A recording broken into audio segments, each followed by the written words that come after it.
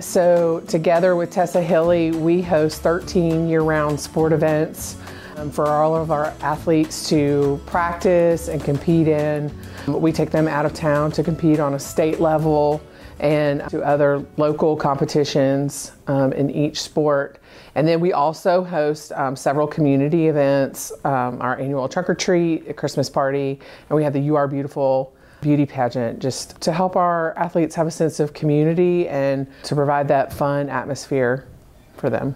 So, overall, when we have our spring games, we have almost 700 athletes, and it takes over 300 volunteers to help host and run our spring games. On a repeat level, we have a total of about 50 athletes that are reoccurring in each of the sport events that we host.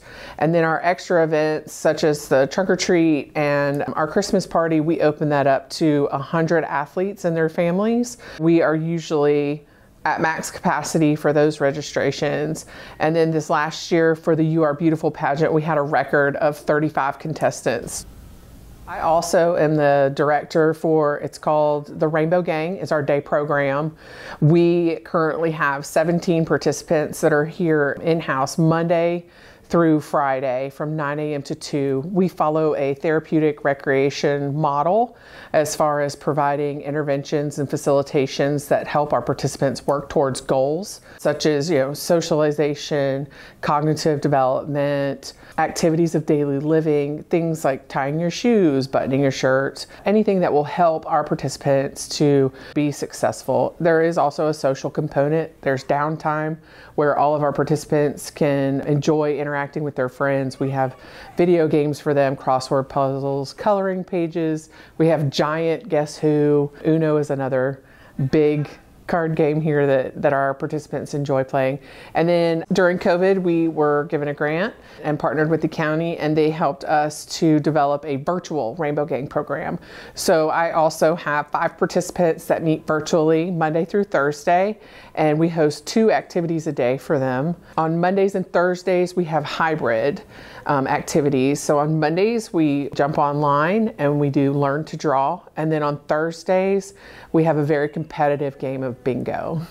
Here in person, there are two staff members. So to maintain safe ratios, 17 is our magic number. And then, so this allowed us to extend our program because there is such a need for after high school, then what is my child going to do? You run into some economic issues. You run into issues of my child is not capable of going and working at a job for part time, full time. I, you know, as parents, a lot of our parents still work. Um, and so it's difficult to get their child to and from employment opportunities and, and things of that nature, and they, they don't have anything for their child to do.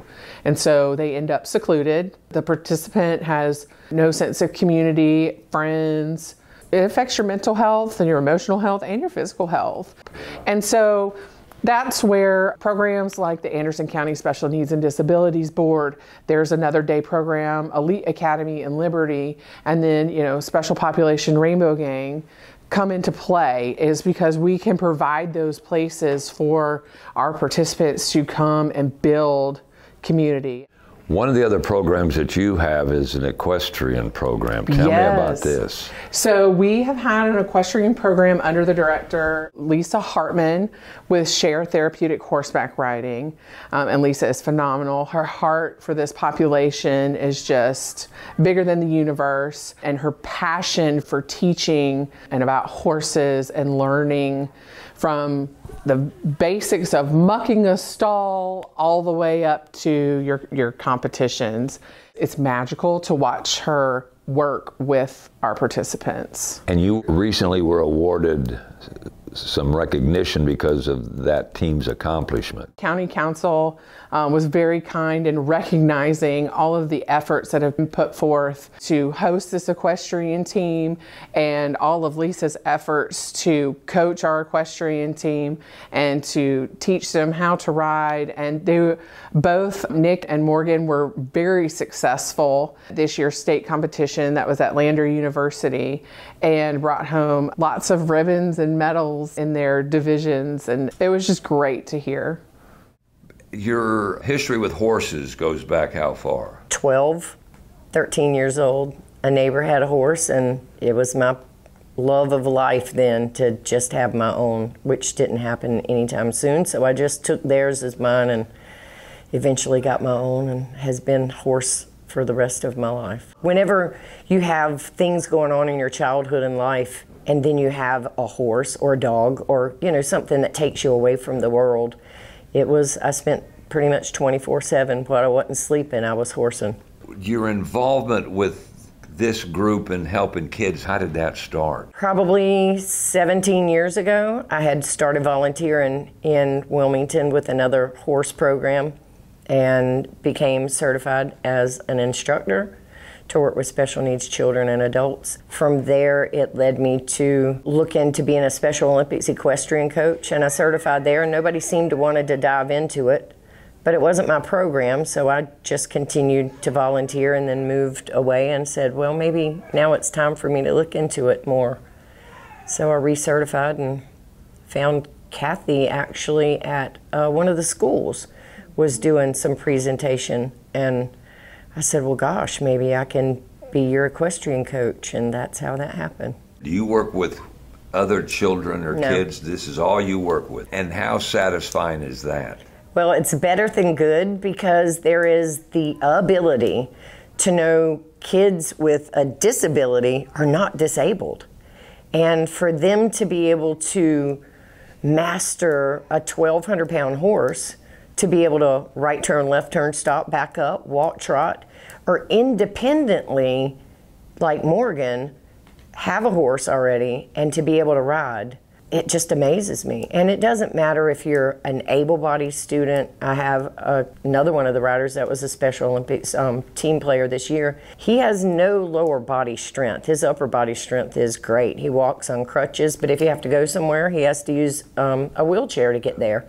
But he's very capable of managing his horse and to be able to cognitively remember some of your patterns or you become a ventriloquist to tell them how to do it is the way it goes. I mean, we'll make anything work. If you want to ride, we can make it happen. Tell me about the competition at Lander. I think there were 40 something participants. Okay, from around the state of South Carolina. Yes. Okay. 40. And and the real hope is that it's going to continue to grow because the awareness of the equestrian program has started to, you know, full bloom. So they come to me for the 10 weeks of training and then we, you know, master a couple of the courses that they've set out for us, a trail course, an obstacle course. So you have pole bending and an equestrian equitation class.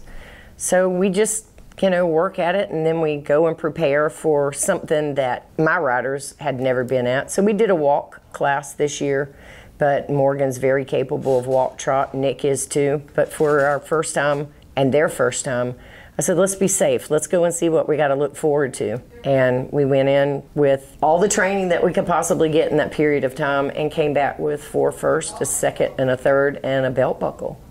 Don't get much better than that, does it? Nope. A trail class is an obstacle course. You would have to maneuver your horse around cones, over a bridge, um, over ground poles, work through a square, making a right circle, stop your horse, maneuver through the next to go, stop and back up.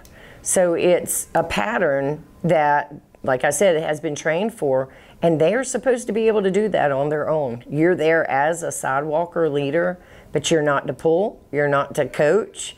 And like I said, to being a ventriloquist, and then you've got the other one, which is a pole bending class. So there's another pattern. You have to go past all the poles, and there's six. You run back through them, and then you run back through them the other way, and then you come back out. And that was a timed event, and that's what Morgan got the fastest time in her group to win the buckle and the first place. How long have you been riding a horse, Morgan? Since I was five years old. You're kidding. How did you get on a horse at five? What, what were the my circuit? mom.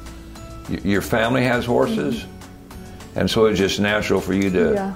You remember the name of the first horse? Abigail.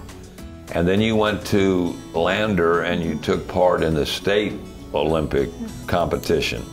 Tell me what you did down at Lander. Pole bending, Now, what is that for those that don't know? We run through poles with the horse. You will run through poles. Mm-hmm. Okay. And what was your horse that you took down there? That, Abigail. You still on Abigail? Mm-hmm. Okay. And what were some of the other things you did down there? Obstacle course. All right, describe that. It was with cones and a bridge And how much do you practice? every day. Because I got my own farm now. So, what's that like? That was fun. Especially in the rain. You like riding in the rain? How cool is that? Good. Tell me what you won and what you brought back All from. three blue medals and a belt buckle And why did you win the belt buckle? for the fastest time at pole bending. Of everybody in South Carolina, you were the fastest. What do you want to do next? Hang out with Lisa Hartman all day Why is she such a good buddy? because she's the best riding teacher ever. I can't argue that point. Well, thank you, Morgan, for sharing your story with us, and congratulations on doing so well at the uh, competition.